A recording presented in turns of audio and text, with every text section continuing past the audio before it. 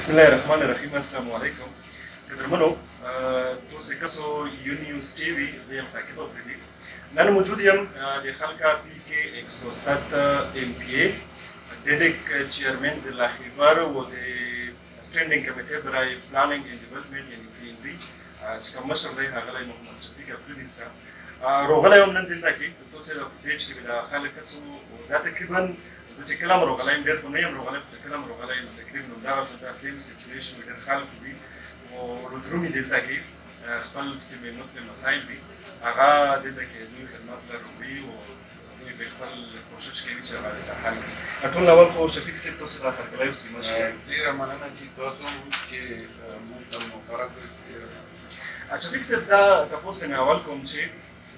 تاسې چونکه په بیست جولای دوه هزار او اوویس کې منتخب شوي یو ړومبنی د خلګر پی کې سوسد ایم پی ای یو اول ورته لږ دا ویایو چې څه ډیفرنس محسوسوو چونکه مخکې ایم پی ای نه وو اوس ایم پی ای دی دغه اول ستاسې یو ثاقب خان دغه سره به زه دا وایم چې مخکې لایف چې کومه مونږ وو هغه یو پرایویټ لایف وو هغه مونږ ډېر لکه په خپل طریقه کار مطابق هر شی د موږ شیډول کېدو دی او اوس دا دی چې دغه زمونږ ډیر مشغول شوی یو او ډیر یو بیزی لایف دی او څنګه چې تاسو ته پته ده د موږ علاقه چې دو دا ډیره د سختو حالاتو نه تیره شوې دو دلته ډیر زیات مسایل دي د خلکو ډیرې زیات ایشوز دي د هغې دپاره چې دي ډیر زیات سخت مهنت ضرورت دی نو په هغه وجه باندې ټیک شو چې لږ هارډ ورک او ډیر موږ ته لږ زړه ملویږي خو یو هغې سره موږ ته خوشحالي دا ملویږي چې کله موږ یو عام سړی موږ ته راشي او هغه خپله ایشو موږ ته ټیبل کي یا موږ مخې ته یې راوړي او هغه باندې موږ بیا ایفرټ وکړو او په هغې کې یو برج کردار ادا کړو مساله حل شي نو هغې سره موږ ته ډیره خوشحالي ملويږي او صحیح اکثر موږ خلک دا ګلام کوي چې لکه څنګه ما وړاندې وویل مخکې خو ایم ان اې سیستم د وغلو ته دستخط وکړلو خو بیا بیا کار نه کېدلو د دفترونو او دې دفتر ګمانځ کول خو بې دفتر وم نه تاسو چې کوم ریکمند کو یو کور د چا نو هغه کور یې کې تاسو پرې ریزلټ تاسو لرغلي دي کنه خلک اوس هم څه ورته اترې د پاره مونږ يو خپل طريقه کار باندې د هر چا خپل يو طريقه کار دی او چونکه ما مخکې خپل پرايويټ آفيس لږ ډير د ډيپارټمنټ سا د فالو اپ او د خپل کيس طريقه کار باندې مونږ ته پته وه په دا وجه باندې که تاسو ووینو د مونږ په مرج اضلاع کې د ټولو نه اول د مونږ د غواړي حلقي چې دي سکیمونه یې پروت شول ځکه چې مونږ ته پته وه چې څنګه به ته خپل کیس انیشیټ کوي د هغه پسې کوم فالو اپ لاګي نو په دا وجه باندې د موږ لګ ډیر ایکسپیرینس وو اوس چې دلته موږ لکم خلک روتي تاسو ته پته ده چې اول لک خلک راتلل بیا ډیریدل هم داسې ډیریږي روزانه موږ ته په سوونو خلک چې روتي ادغه مطلب دا دی چې موږ د چا څه مسله وي د تیرو پورې خلک موږ ته دلته روزي نو ادغې يو وجه دا کيداي شي چې څه نا څه کول کيږي په هغې باندې او بيا هغې کې مونږ خپل هم فالو اپ کوو لکه دا کې ډير خلک بيا مونږ سره چې کوم ډيپارټمنټ ته مونږ ريکمنډيشن ولګو و الته د هغه افسر ریسپانس ښه نه وي یا هغه باندې مطمئن نشي هغه کس مونږ سره رابطه وکړي مونږ بیا فالو اپ کوو فرض که مونږ یو د ډیسټرکټ په لیول باندې یو کیس انیشیټ کو یا چاته یو مسله ایشو مخې ته کو هغه د ډیسټرکټ په لیول باندې هغه افسر ته څه مسله وي چې هغه د دغه نه بهر وي نو بیا موږ دایره اختیار نه بهر وي نو بیا موږ په صوبایي لیول باندې په سیکټریټ کې سیکټري لیول پورې غوکو که هغه پورې بیا مسله وي نو موږ بیا لکه تر سي ایم سیکټریټ پورې موږ هغه ایشو چې دوه ریس کوو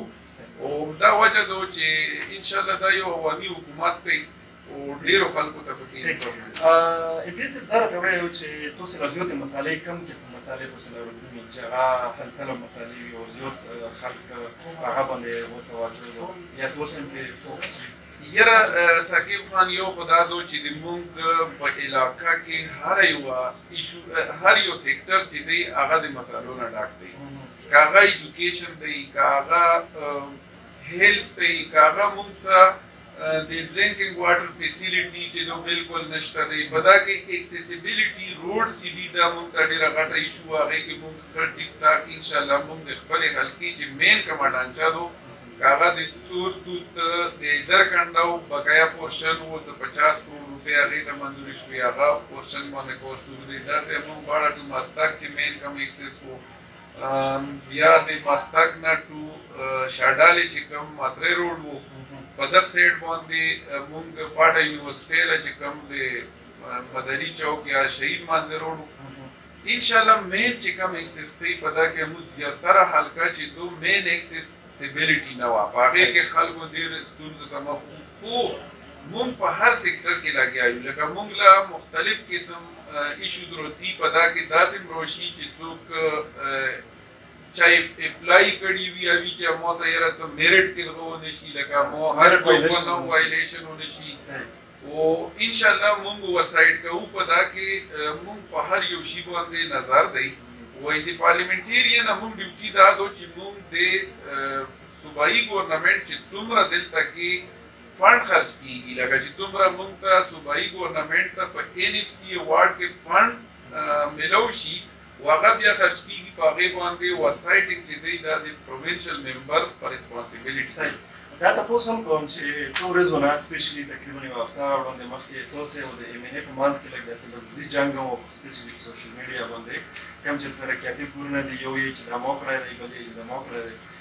دا نوبت څه لا راغلو څه وجه ده دا منځ کې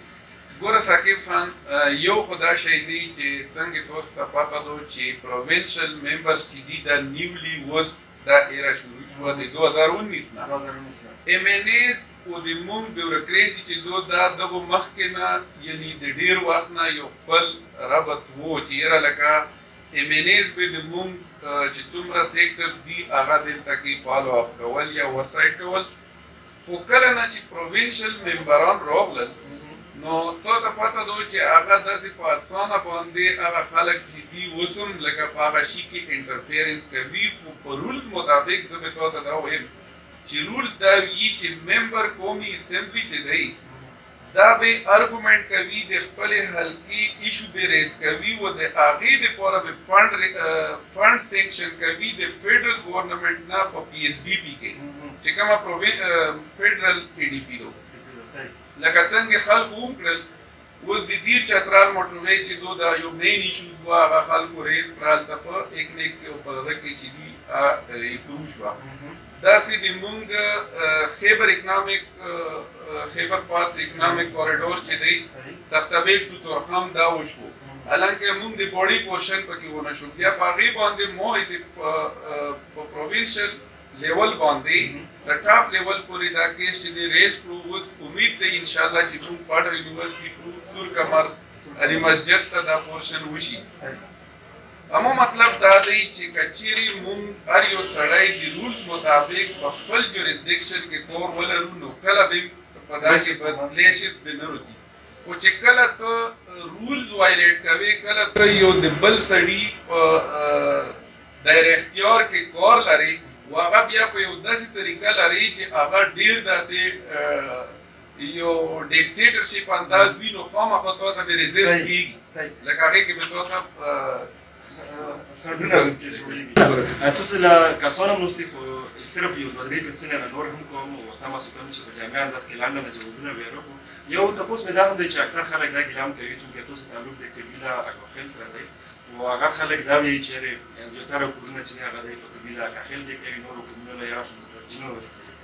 دغه برکت څه څه وزن په برکت ده ګوره ثاقب خان مو چې څنګه تاسو ته وویل لکه تاسو غوندې پړه لکه خلک دي میډیا سره ریلیټډ خلک چې دي دا چې کله مو غوړي دغه ته مونږ داس ګیمونه ټیبل کولای شو چې اوس په تیرا کې بیا تیرو نه مخکې چې کوم مین اکسیسیبیلیټي دو یا کنیکټیویټي روډ دی په هغې کې لکه اوس څومره فنډ شروع دی منظوري وشوه په دغه کال کې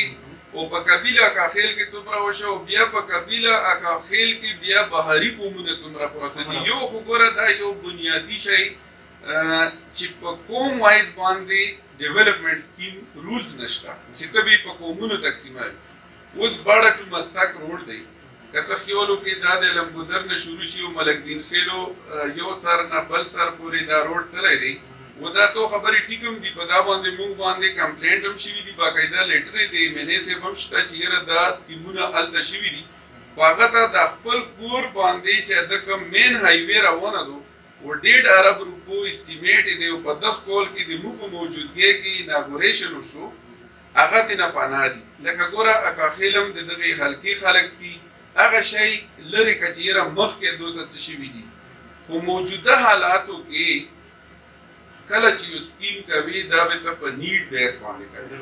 او په نیډ بیس باندی چی زه تولم اختیار دیر کم که ته اکا خیل ام پی ای نه خو چی ته رولز فالو کوی ته په نیډ بیس کوی ته هم دا کور کوی چی دا کم هم د کوی اوس لکه ټیک تو دی اوبو سکیمونه چې دي مونږ په تیرا کاخلو کې وکړو مونږ په ملک دین خېلو کې په ساړوخه کې وکړو یو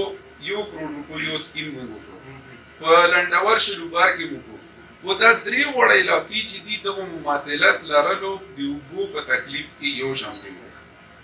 نو که چیرې مونږ داسې علاقې ټارګټ کوو خامخا هغه خلک چې هغه مخکې د سیستم نه مستفید وو تو ته پته ده چې مدا ټیوب ویلې مې په ان فیزیبل ځایونو کې څومره شین زه توله دا شورټي در کوم چې کله نه موږ روغلي یو سکیم د موږ ان فیزیبل ځای کې څوک ثابت دي نو چې کله ته ان فیزیبل ځای کې سکیم نه کوي نو دا به ته مخکې تی چې چاته ضرورت دی سکیم به وځي نو ان شاء الله دا یو خدای شي دی چې کڅوب سم یې کنه مونږ به الله لم جواب ورکو او مونږ حکومت کې یو پراپر چیک اینڈ بیلنس سیستم دی دا په زبانی جمع خرچ نه کیږي لیټر هم خلکو وکړي هر څه به وکړي خو لکه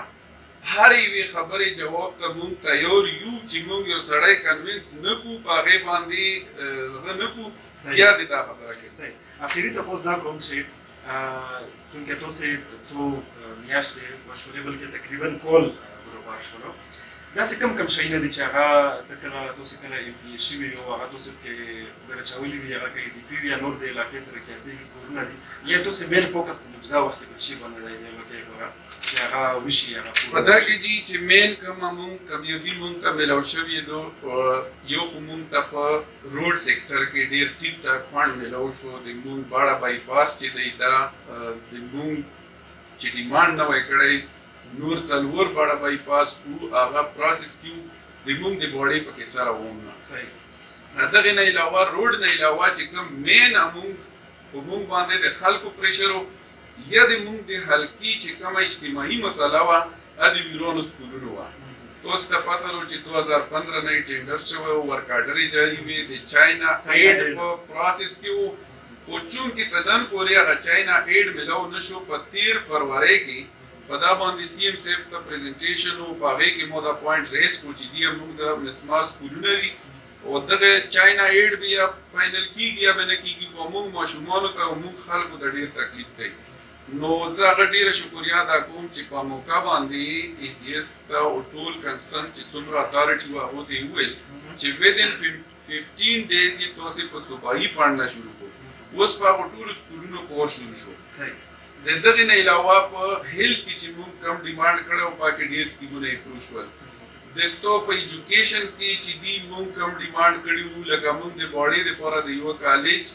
او یو د کیرو لپاره دا ډیمانډ کړی دی انشاءالله دا خوشخبري به هم خلکو ته زر میلاو شي بیا په سپورټس پيري مونږ يو شوبه هم نه ده پريښي په هر شي باندې مونږ روزانه ډير ټيک ټاک کنبغه کوو نو په سپورټس کي لکه اوس د مونږ په کنبر کي دري څلور اکيډمي منظوري شوي مونږ ته فيلو کي يوه کرکټ اکيډمي منظوره شوه چي کم ګرونډونو کي نوسي ميلو شوي د زمکي امپ ميلو شوي منظور شوي و ان شاء الله چی باړی ته یو غټ سپورټس کمپلیکس هم په پراسس کی دی چی روشی همدغه شای د افریدی سپورټس کمپلیکس په زمکه باندی نو داسی ډیر شیونه دی ډیری مسالی وی و اوس لکه دا تاسو ته پته ده چی یو خو د تیر او یو کولو نه دلته کی یو نظام داسی چلیدلی و چی هغه کی انصاف ډیر کم خلکو ته ملاویدو یو زورور سرمایه دار یا داسی خلکو ته هغه نه علاوه د مونږ هغه سیستم نه بعد چې کوم لس کوله مونږ ملیټینسي افیکټ وو لکه مونږ پوره انفراسټرکچر دیمولیش وو د مونږ چې څومره کاروباري طبقه وه چې څومره د مونږ زراعت سره وابسته خلک وو چې څومره د مال مویشي کاروبار سره وابسته خلک وو دا ټوټل چې دی هغه ایسټس تباه شول او هغه د پوره مو ان شاء الله وسم یو کال ټینشن نوټس په اسمبلی کې جمع کړی دی که هغه روشي نو په دا باندې به زه خبره کوم چې موږ له یو سپیشل پیکج ضرورت دی لکه موږ په روټین فند باندې موږ خصوصي ګرانټ وکړو خپل پیغام به ورکوو په دغه نه مخکې تاسو په خپلو خبرو کې د چاینا هیډ ذکر وکړو نو موږ د سید صحافي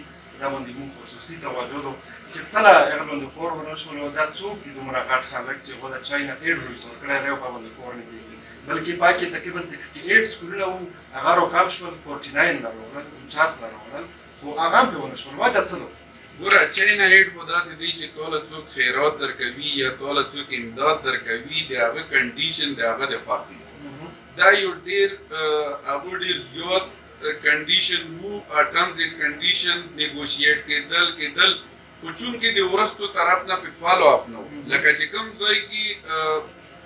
مسله خو د مونږ خلکو ته وه د مونږ طرف نه پسې فالو اپ نه و چې کله مونږ چارج واغستو کله مونږ انتخاب وشو په هر میټینګ کې مو دا ایشو ریز کړه مو د منسټر صاحب په مخ کې ریز کړی دو مو سیکټي صاحب ته ریز کړی دو چې جی که مونږ ته کور کوو بس ټیک تو مونږ به میسنګ فیسیلیټی ته هم فنډ غوړو مونږ به سکولونو کې نور هم بهتری غوړو خو ټاپ پریارټی ته مو دا ډیموال سکول نه دی بیا چې هغو کله د چاینا ایډ سره میټینګز کېدل د مونږ د بلډینګز چې کوم هغه کې نمایندګونو هغه کې یو مسله وا د اسکیلیشن یعنی اسکیلیشن دا مطلب چې دا ډیر زوړ ټینډر شوه او چې کوم بیا ریټ انهانسمنت کېدو نو چاینا وی ته ویل چې مونږ دا نشو کولای نو هغه دلته ګورنمنټ محکمو به عمده نیګوشیټ کول چې نه دا اسکیلیشن هم توسې ومنو په هغې کې مونږ بیا دا خبره مخکې پورې ورسوله چې جی اسکیلیشن په کور دی چې مونږ ومنو بس چې دا مسله ریزول شي هغې کې اسکیلیشن مسله هم حل شوه خو چونکې چاینا چې دو هغه سر جي مونږ د ګورنمنټ وړمبی ایکسپیرینس وو چې هغه نه ګرانټ اغستو لکه یو دا نور یورپی یونین نور ملکونه چې دی هغه سره یوز ټو نو چونکی وړمبی پروسس وو په دا وجه باندې لګ د مشکلات ښکار شو خو بیا هغه فاند به بیا ایډجست کیږي چې کله مونږ ته ډیسبرسمنټ وشي